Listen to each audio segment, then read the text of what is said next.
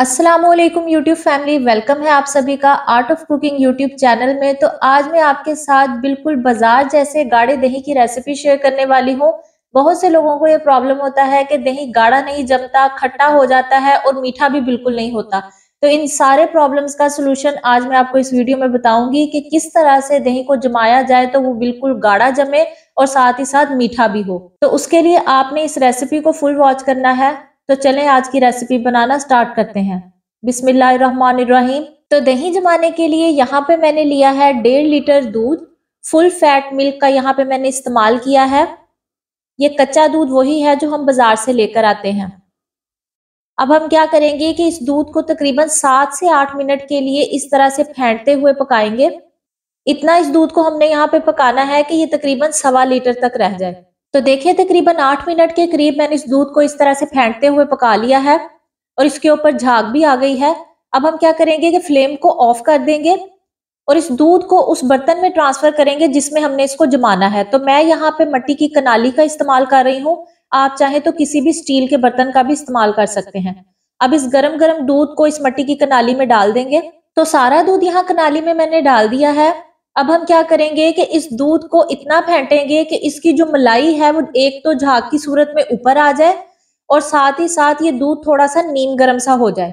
तो तकरीबन दो से तीन मिनट के आसपास इस तरह से फेंटते हुए इस दूध को हल्का सा ठंडा करेंगे। तो देखें, यहाँ पे मैंने तीन मिनट इस दूध को फेंटा है और अच्छे से झाग भी इसके ऊपर आ गई है। अब हम क्या करेंगे कि उंगली की मदद से इस दूध को पहले चेक करेंगे। अगर पाँच से सात सेकंड उंगली जो है वो हमारी इस दूध में रह जाए और हमें हल्का हल्का सा नीम गर्म फील हो तो इसका मतलब है कि हम इस दूध को जाग लगा सकते हैं। तो देखें, यहाँ पे दूध नीम गर्म सा है, अब हम इसे जाग लगाएँगे। तो यहाँ पे मैंने रूम टेम्परेचर पे रखा हुआ दही लिया है। मीठे दही का हमने इस्तेमाल करना है, खट्टे दही का जाग बिल्कुल नहीं लगाना। तो अब बस हमने क्या करना है कि सिर्फ़ दो चम्मच दही के इसमें से लेने हैं और इस दूध को जाग लगाना है। अब यहाँ आपने इस बात का ख्याल रखना है कि इस दही को आपने पूरे दूध में इस तरह से मिक्स नहीं करना चम्मच के साथ। साइड से इसके अंदर डालेंगे दही को और हल्का सा एक बार हिला देंगे। अब हम क्या करेंगे कि इस दूध को ऊपर से कवर करेंगे। किसी भी ढक्कन के साथ आपने इस दूध को कवर कर देना है। फिर हमने क्या करना है कि एक मोटा सा कपड़ा लेना है जिसमें हमने इस बर्तन को लपेटना है। तो देखें, अच्छे से मैंने इसे इस कपड़े से लपेट दिया है। अब क्या करेंगे कि किसी गर्म जगह पे इसे रखेंगे। तकरीबन चार से छह घंटे के लिए हमने इसे रखना है। तो अब यहाँ तकरीबन पाँच घंटे के बाद मैंने इस दही को चेक किया है। तो देखे, दही यहाँ पे अच्छे से जम चुका है। अभी हमने इसे इस्तेमाल नहीं करना। पहले हम इसे तकरीबन दो से तीन घंटे के लिए फ्रिज में रखकर ठंडा करेंगे। तो अब मैं इसे फ्रिज में रख दूँगी। तो तकरीबन तीन घंटे के आसपास मैंने इस दही को फ्रिज में रखा है। दही अच्छे से ठंडा हो गया है।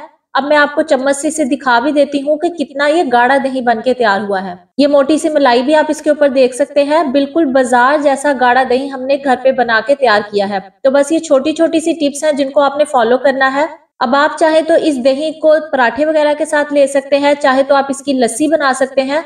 मैंने यहाँ पे दही के अंदर शक्कर डाली है, आप इस तरह से भी इसे खा सकते हैं।